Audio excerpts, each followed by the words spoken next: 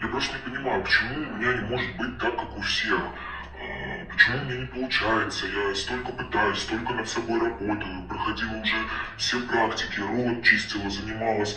Я хочу просто иметь нормальную жизнь. Такое ощущение, что со мной что-то не так. Прям хочется спросить, что со мной не так? Почему у меня не получается? Вот сейчас твой вопрос, что со мной не так, почему не получается? Он из позиции жертвы. С тобой все так. Просто ты на данный момент не исполняешь задачи своего духа. Вот то, с чем ты сюда пришла. Сколько раз ты уже была замужем? То есть ты пыталась, не получалось. И это не значит, что этого никогда не будет в твоей жизни. Просто сейчас, именно в этот момент, на этом этапе, до тебя Вселенная уже со всех сторон пытается достучаться. Не туда идешь. Посмотри, у тебя здесь забирают, здесь забирают, здесь у тебя закрывают дверь. Нет, ты на пролом идешь. Я еще стану лучше, я еще буду больше себя прорабатывать. Нечего прорабатывать, понимаешь? Ты сюда пришла с совершенно другой целью. Ты знаешь, что в тебе заложено. Мы с тобой раскопали. С самого детства в тебе было заложено это знание. Ты чувствовала, куда тебе нужно идти. Что произошло в какой-то момент?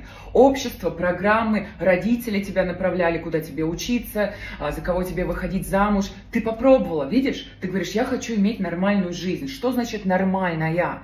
Во-первых, ты не знаешь, то, что тебя окружает, является ли, являются ли эти люди действительно людьми, либо голограммами, программами в твоей реальности, просто чтобы тебе было интереснее играть. Начнем с этого. Соответственно, ты сюда пришла, чтобы исполнить задачу свою, контракт, духа, как хочешь так называй, Божий план, план Вселенной, судьбу, да, чтобы пройти. Но ты упираешься, ты внутри чувствуешь, тебе душа рвется, говорит, мне туда, мне для того, чтобы помогать людям, вести их через переход. А ты отворачиваешься и говоришь, нет, я хочу семью, семью, я хочу как у всех, чтобы что? Ты можешь пытаться еще раз и еще раз. Ты уже пыталась два раза. Принесло тебе это счастье, удачу, внутреннее наполнение? Нет. Поиски не заканчиваются. Потому что внутри вот этот вот голос, он прям фонит. Давай, выходи на свой путь, начинай делать то, зачем ты сюда пришла.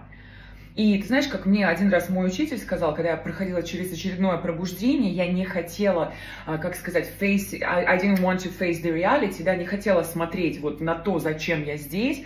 Я отворачивалась и говорила, я хочу, как у всех, чтобы вот так ездить на машине, муж тут по бокам, дети, дом, все. Он говорит, Джулия, ты уже пыталась? Я говорю, да. Он говорит, ты можешь пойти назад, попытаться еще раз, у тебя не получится.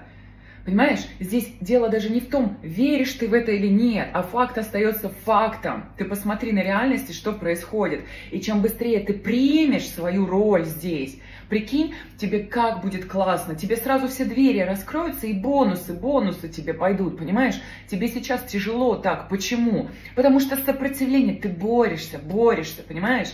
Фраза есть такая, what we resist persists. Не противьтесь злу, ибо оно множится. Тебе сейчас нужно сдаться сдаться, но не сдаться, опустить руки, да, забить на все, ничего не делать.